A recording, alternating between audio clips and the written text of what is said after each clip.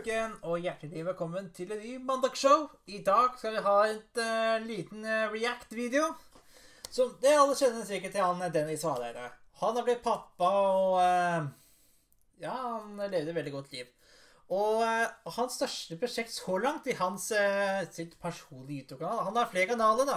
Blant annet Mikael, Dennis Jagerer og hans, e, hans personlige kanal. I denne sammenheng så har jeg lyst til å skal reagere på uh, Han har et kjempestort prosjekt på gang. Det er nemlig å kåre Norges beste kommune. Han skal besøke absolutt alle kommunene i hele Norge og rangere i fire kriterier. Det er kommunevåpen, turistattraksjon, uh, gatekjøkken og rådhus. Så uh, hvis det er Ja. Jeg syns det, det, er veldig greit uh, greie kriterier, så jeg syns det har vært veldig greit. Så jeg kan kommentere litt på underveis da, på uh, hvordan han rangerer de forskjellige uh, i forskjellige kriteriene i de forskjellige kommunene. Han har besøkt åtte så langt. Jeg så på lista, så på spillelista på, på Norges beste kommune. Han har en, han niende video klar, men den ikke er publisert ennå, så vi skal reakte på fem av dem. Så får vi se han. Eh, jeg tar på de fem første, da. Det ene er jo eh, Vennesla kommune, så vi får stikke inn det, da. Det er 356 kommuner i Norge, og jeg skal besøke alle sammen for å finne Norges beste kommune. Første kommune er Vennesla, og i denne testen så har jeg fire kriterier. Vi starter med kommunevåpen, som har noe trær, en elv og et par tannhjul i knæsj rød og gul. Svake greier svake greier. Ja, det syns jeg er litt enig, for at uh, man kan se på det Skal vi se. Denne, kommunevåpen, denne kommunevåpenet her, den ser jo ganske kjedelig da. Det er forøyende at Vennesla er et slags skogsområde, og så er det elv, da. Der de, eh, der, der de uh, frakter tømmeret nedover elver, da, som skal til, uh, som skal til sagbruk. Og så de, tanndyrene er jo såkalt Det er tegn på at Vennesla er en industri, at denne industrikommunen, da, så driver på med mye industri, da. Så uh, jeg syns det er litt kjedelig, kjedelig ut, da. Og gul. Svake greier. Turistattraksjon. Tømmerrenna er for folk som ikke er redd for å lide en brutal død. For de legger ikke skjul på det er farlig å gå på disse treplankene. Men utsikten var fantastisk. Gate... Uh, skal vi se. Tømmerrenna er jo uh, veldig greit, da. Man kan gå over det og så titte litt på uh, og så titte litt på elven som renner igjen, da. Så altså, akkurat da så er, ganske, er, elven ganske lavt. Og også før i tida da, så var vannet ganske høyt, eh, tror jeg. At eh, vannet bare renner nedover denne vannrenna. Så det er en mye enklere måte, da, for da slipper det For da slipper det da slipper tømmeret å sitte fast i elva, så jeg syns det er en veldig gøy uh... Gatekjøkken. Etter anbefalinger fra diverse vendeordninger testa ut matstedet Biffen, som er et gatekjøkken og en lekebutikk. Men Snadderloffen var helt OK. Altså, Jeg har ikke noe kjennskap til uh, gatekjøkken, for å være helt ærlig, så uh, jeg syns at det er jo jeg synes det er veldig greit at han vil teste forskjellige gatekjøkken rundt over i hver eneste kommune og se om hvilken gatekjøkken som er det beste i hele Norge. Og så Hvis jeg f.eks. skal da på en tur eh, et eller annet sted og, så, og vil vite på hvor jeg har lyst til å spise, så tror jeg jeg får bare sjekke ut uh, Dennis sine, sine kriterier, altså. Det er en legebutikk under uh, gatekjøkkenet. Men Snadderloffen var helt OK. Rådhus. Dette stygge bygget, rådhuset. Men besøksadressa er dette megafine kulturhuset. Såpass forvirrende, men allikevel fint kulturhus. Dette gir da ja, Når det gjelder rådhus, så alle kommuner har jo, uh, har jo uh, rådhus. Og det er forskjellig stil altså når det gjelder det på hvor, gode, hvor, gode, hvor bra det ser ut, og hvor mye de kan tilby på innsiden. Og så veldig kule greier. Så Vennesla har jo Det ser veldig stygt på utsiden, men kulturhuset derimot eh, byr på eh, veldig fysisk, fysisk design, da. Hvis jeg skjønner hva jeg mener. Så da skal jeg se på da han var innom min hjemmekommune, nemlig Gran. Beste kommune. Neste utfordrer er Gran kommune. Kommunevåpen. Gran kommunes våpenskjold Ja, jeg kan godt eh, fortelle litt om uh, Fortelle litt om det skjoldet, egentlig. Det er jo Kanskje, kanskje Dennis kanskje, kanskje forklarer selv. Det skal symbolisere to kirker de har i kommunen, som ble bygget på 1100-tallet. Kult med historie, men stygge farger. Fire av ti. Jeg syns det er litt stygge farger, så kanskje Kanskje Gran burde vurdere om å bytte ut uh, kul farge som er litt mer canashe, da. Men historien er jo veldig greit, da, for vi har jo søsterkirkene oppe på Granevollen, og det er veldig fint, uh, veldig fine kirker som står rett ved siden av hverandre, da. Så Hadeland har by, og Gran har by på mange kule historier.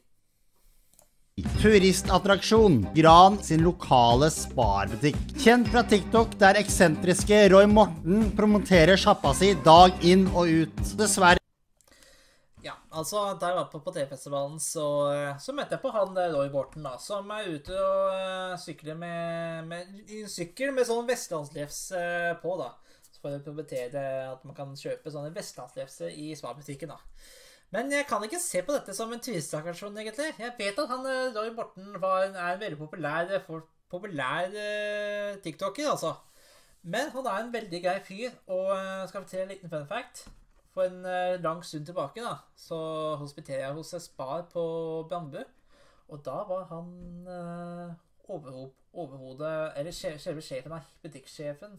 Så han teknisk sett så var han mitt sjef i to uker, da, men så så gir jeg opp på Spar, siden at uh, jobbe i butikk er ikke min greie, altså. Men han er en veldig kul fyr, så det sier jeg veldig stort pris på. Jeg respekterer ham som en vanlig person, og, eh, og, alltid, og vi hilser alltid på hverandre for hver gang jeg stikker innom Spar. da.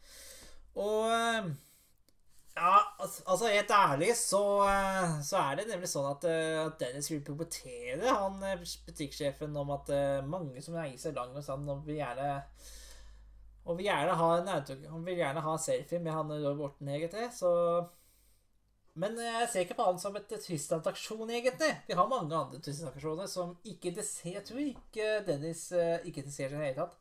Vi har blant annet Folkemuseet. Og så har vi eh, Folkemuseet, og så har vi eh, Ja, vi har jo stein, Steinringen, men, eh, men den er ikke så særlig interessert. Vi har jo blant annet eh, Tegneseriemuseet i Bambu. Men eh, jeg tror nok at Dennis aldri har vært eh, innom eh, Bambu før. Han kunne ha stikket innom tegneserie- tegneseriemuseet, da. Men vet du hva? Nei. Han, han syns at Rød Morten er mye kulere enn en tegneseriemuseum. Altså, leser tegneserier? Nei, men det gjør jeg. Jeg er mye mer nærete enn han.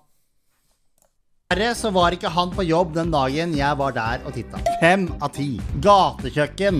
Casablanca kjøkken. Her kjørte jeg på med den lokale varianten løvbab, som var sjokkerende god. Syv av ti. Ja, mange forskjellige Mange, mange fine, mange fine gatekjøkken eh, i Bambu. eh, I Gran kommune, altså. Eh, Pizzagutta var jo stengt da han eh, stakk, stakk innom Gran. Så han, eh, han, han kunne, altså kunne ha kjørt innom Haugeli også, da, mener jeg. Casablanca er jo veldig greit, da. Rådhus. Gran rådhus kjører en dørgende kjedelig mursteinstil over hele bygget. Fire av ti. Ja, der tror jeg jeg er litt enig med Dennis. At han, eh, altså, jeg bor like i nærheten av uh, rådhuset, altså. Og det skjønner det at uh, det ser ikke ut i det hele tatt. Men eh, den ligger faktisk veldig godt an når man tenker på eh, Ja, hva skal jeg si, da? Ja? Altså, jeg syns at uh, Gran kommune, Grand rådhus eh, er jo litt i det kjedelige laget, tenker jeg. Så eh, det er jo eh, jeg er, helt, jeg er enig, enig med det her med kommunehuset, da. Eller rådhuset. Dette gir da Gran kommune 20 av 40 mulige poeng. Dette putter da Gran på en andreplass. Ja, altså 50-50, altså halvveis igjennom uh, kriterien, det kan jeg, veldig, det kan jeg godta. Så kanskje det er greit at uh, Ja. Nei, jeg tror ikke det er noe med det. Det er hans test, og jeg uh, Og jeg følger med på Følger med på hans uh, veldig kule ting, da. Veldig kule kommuner å reise rundt, da. Og følger på hans kriterier. Det var ikke bare Gran han snakket innom, da. Han snakket også, også innom uh, Jevnaker kommune, som er nabokommunen til uh, Gran. Så vi tenkte vi skulle på ham. Norges beste kommune. Kommunen som står for tur denne gangen, er Jevnaker kommune. Kommunevåpen. Kommunevåpenet er tre sølvpokaler med en rød bakgrunn, som da viser til en århundrelang tradisjon med glassblåsing. Langt ifra det verste jeg har sett. Fem av ti. Verste jeg har sett? Ja, altså, jeg syns at uh, kommunevåpenet ikke ser så særlig greit ut. Ser sølvpakale, eller rett sagt eh, sølvbegeret, er jo eh, det som er tradisjon. At eh, det er jo der Kalvern glassverk ligger, som har drevet Som har vært i drift i over 200 år. Så ja, kanskje det er greit at du bare tenker litt mer om. Tenker litt på tenker litt på hvordan det skulle egentlig se ut, hvordan det kommer til å si. Men vet du hva? Det er altså 50-50, det er greit, da. Turistattraksjon. Kistefoss museum, og da spesielt bygget The Twist. Se på dette vilt fete bygget. Ti av ti! Jepp. Ti av ti. Kistefoss museum. Jeg har vært der mange ganger, og jeg digger veldig godt uh, bygget The Twist. Som, har, uh, som, er veldig kul uh, Som er utrolig kuleste bygget jeg noen gang har vært, vært igjennom. Jeg har gått igjennom der en gang, og jeg tror det var et par ganger, tenker jeg, og jeg syns det er helt fantastisk. Og så blant annet så er Kistefoss også et, et, et skulpturpark med, et, med en elv som renner gjennom, og så ikke minst Ja Med noen kule skulpturer rundt omkring, da. Og så tespikkeri, tesliperi, som er svær bygg i midten. Det er faktisk tesliperi, da. Så jeg er enig med tennis. Jeg er enig med tennis. Gatekjøkken. Jeg endte opp på restaurant Corneren. Jeg valgte selvfølgelig å gå for kylling hjemnaker, og det må jeg si, det var digge saker. Syv av ti. Jeg var aldri innom Corneren, men de, har, de lager veldig god mat der, da, som jeg har hørt. Rådhus. Jevnaker rådhus er basically en betongbunker med en liten dæsj grus. Men de har til min store glede i det minste prøvd å pynte denne installasjonen fire av ti. Fire av ti av det rådhuset. Ja, det er, ser ut som, ser som et bunker med sånn uh, tilfluktsrom i kjelleren.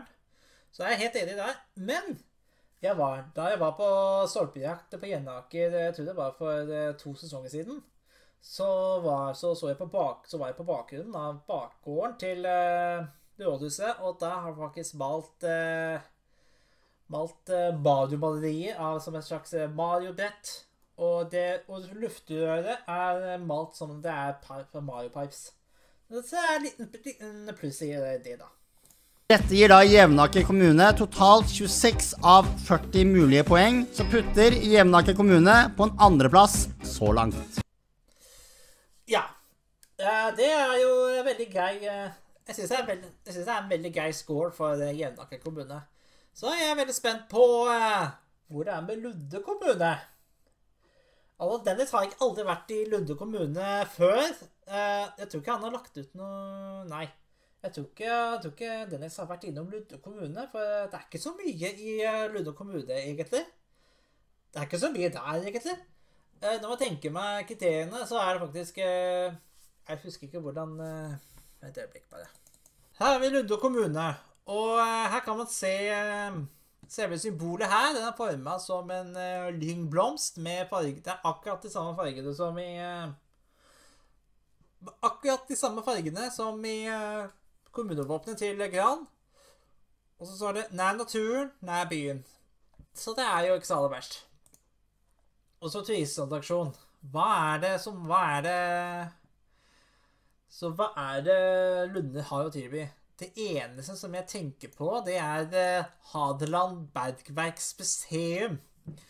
Så jeg tror ikke Dennis vil være interessert i det, egentlig. Men den har jo Det er en slags gruve gruvetour, der man kan stikke innom gruvene og titte på forskjellige kule steiner der inne. Så kanskje det er noe for uh, Kanskje det er noe for Dennis her, da. Også gatekjøkken, derimot, så vet jeg ingenting om. Men jeg vet om det er en gatebutikk, gatekjøkken eh, på Harestua som jeg har gått forbi i, eh, i år. Når det gjelder, når det gjelder Lunde rådhus, derimot, så ser det faktisk det er like stygt som mursteinstil. eh, Akkurat like stygt som rådhuset på Gran, da. Så jeg er veldig spent på, veldig spent på hva som skjer videre. Da tror jeg at vi får runde her, folkens. Jeg ser ikke fram til flere kule anmeldelser, kommunetester fra Dennis Vareide. Så sjekk ut kanalen hans, hans personlige YouTube-kanal, og sjekk ut uh, på eh, fremtidige kommunetester uh, fremover, da. Han har hatt en liten sommerferie og har fått en, har fått en liten gutt, så uh, gratulerer deg. Så da tror jeg vi får bare runde om her. Så tusen takk for at du så på uh, denne mandagsshowet der jeg reagerer på kommunetesten til eh, Dennis Vareide. Han skal kåre Norges beste kommune. Trykk like på videoen, abonner hvis du er ny, og så ses vi til en annen video. Vi ses.